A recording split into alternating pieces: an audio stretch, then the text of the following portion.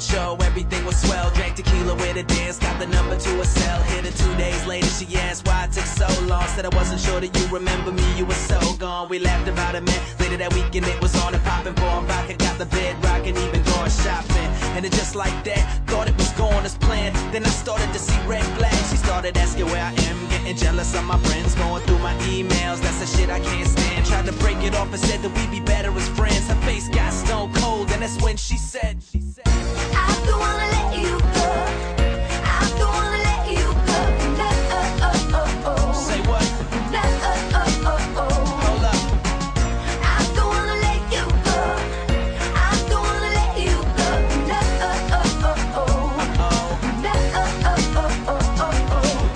Started showing up on my door, looking into my window, stabbing up the wheels of my car. Didn't see her for a while, figured she moved on, dead wrong. She was seated next to me at the bar, what I get myself into. Man, I swear this girl's mental, acting innocent, but she's a devil in stilettos. She apologized, said she had time to think about it.